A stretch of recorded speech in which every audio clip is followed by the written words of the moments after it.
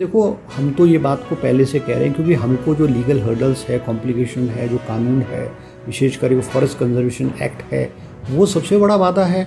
हम सरकार हिमाचल प्रदेश में जो फॉरेस्ट कंजर्वेशन एक्ट है और जो फॉरेस्ट के लोग कहते हैं कि all government waste land is forest land चाहे वो खाले नाले, वो कहीं पे भी हम उठा नहीं सकते।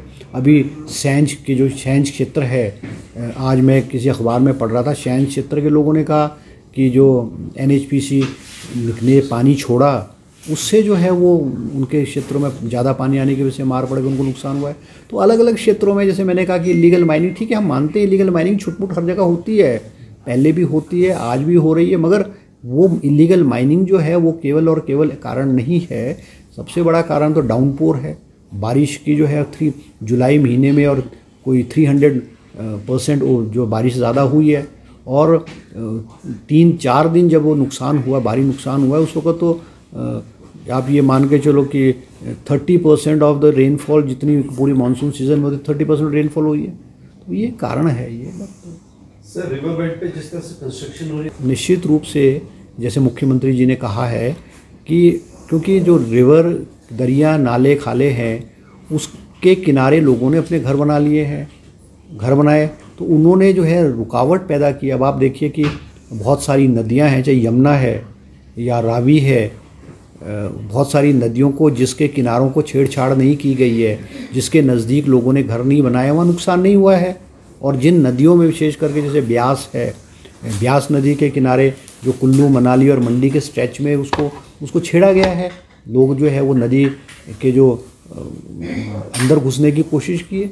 तो जब नदियों में कभी ना कभी 10-15 साल बाद जो है वो भारी बारिश और बाढ़ आएगी तो वो तो निश्चित रूप से नुकसान होगा। अभी मुख्यमंत्री जी ने कहा है कि हम हिमाचल प्रदेश में जो नदियाँ हैं, उसके हंड्रेड मीटर्स में जो है वो कंस्ट्रक्शन को बैन करने जा रहे हैं। तो अब निश्चित रूप से कैबिनेट जो है इसमें भी आने वाले समय में फैसला लेगी, ताकि नदी, नदियों के किनारे जो है कमर्शियल एक्टिविटीज़ है, खेत है रेजिडेंशियल हाउसेस हैं, ये ना हों।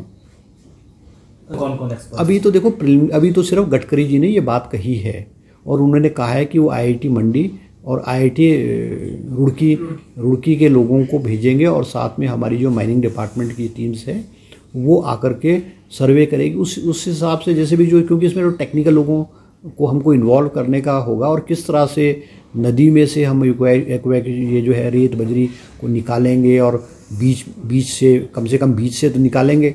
अब अगर हम बीच में अगर वो डेवल लेवल डाउन होता, नदियों का लेवल डाउन होता तो साइडों में मार नहीं पड़ती। अब सारी की सारी नदी जो है वो भर चुकी है। वो पिछले मेरे ख्याल, पिछले अगर हम टेन दस साल में अगर लगाएँ तो कम से कम वो दस से पंद्रह मीटर जो है लेवल नदियों का लेवल जो है, वो ऊपर उठ चुका है। और वो जब नदियों का लेवल उठा है तो वो पानी की मार भी जो है, साइडों में जो लोग रह रहे हैं उन पर पड़ेगी तो निश्चित रूप से हमको जो नदी नाले हैं, इसमें से रेत, बजरी और पत्थर को निकालना होगा। जैसे गडकरी जी ने कहा कि हम एक ऐसी टेक्नोलॉजी निकालेंगे और इतने स्ट्रॉन्ग रिवर बेड्स के किनारों को बनाएँगे ताकि स्ट्रॉन्गेस्ट से स्ट्रॉन्गेस्ट बाढ़ भी आएगी, उसको डैमेज नहीं करेंगे। और ये जो पत्थर है, नदियों में जो बोल्डर्स और पत्थर है, हम उसको इस्तेमाल नेशनल हाईवे को दे करके भी कर सकते हैं।